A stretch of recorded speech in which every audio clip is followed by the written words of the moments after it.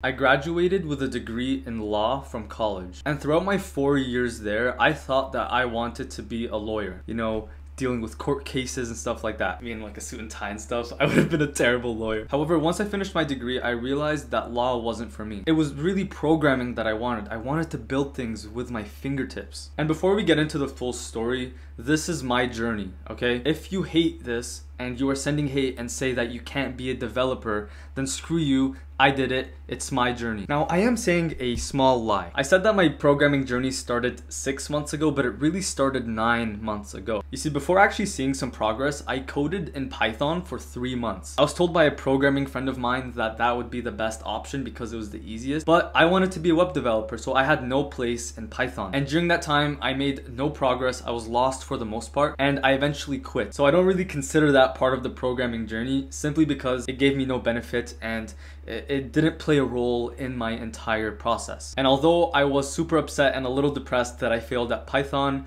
I found some motivation and I started to code again. So the first thing that I did was do CS50's Harvard course. This course not only taught me how to code, but it taught me how computers work, which is invaluable content. And within those two months in CS50, it made me realize what is possible with code because of the projects that we were doing. Like throughout the course, they, they made us do projects to build and actual like things that we could use on our portfolios. And once I finished with the CS50 course, I dove straight into JavaScript, HTML, and CSS. I used free Codecamp's courses on web design and JavaScript and data structures. And again, here was the first time that I learned how to build a website. I started off with the HTML and CSS course where I learned how to like write text on a website, deploy a website, and design a website to look all neat. And I also learned how to make websites responsive with JavaScript. And though this was one of the more challenging things because of the amount of learning that's in the courses, because I was coding four hours a day, learning became much easier and much more fun. And at, and at this point, I'm still struggling to build my own like applications,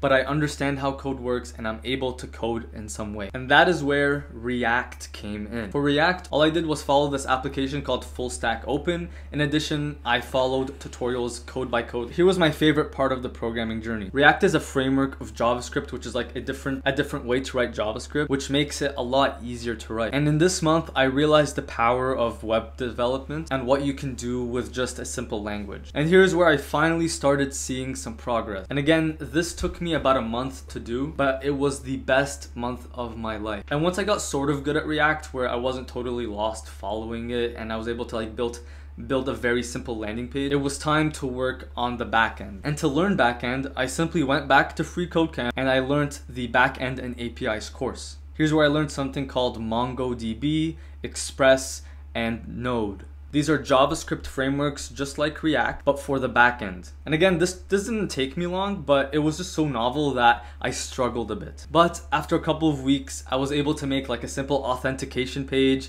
where the users could like log in and store data. And I was finally able to build like a full stack app. And finally, here we are. Right now, though I'm not perfect, I was able to build my Mentor AI, which is like a full stack application, which I'm super proud of because I, I want to build businesses and I, I want to do entrepreneurship with my code. And before I go, there's one big thing to notice too. Although I did learn these things over that six month period, I'm still learning right now. Though I've been doing React for a couple of months and I've doing I've been and I've been doing backend for a couple of months too. These are areas that I still struggle with to this day. And the goal of learning code is not to master it to the point where you don't make mistakes. It's to make less mistakes and to understand where you have to look. So a great mindset that helped me is to understand that you're simply just gonna suck for a bit and your goal is to suck less. And if it makes you feel any better, I still have to do research on how to do very minuscule tasks. And look what I built. I built something that's quite helpful and I'm quite proud of. So if you found this video helpful, please like and subscribe and check out the video right here.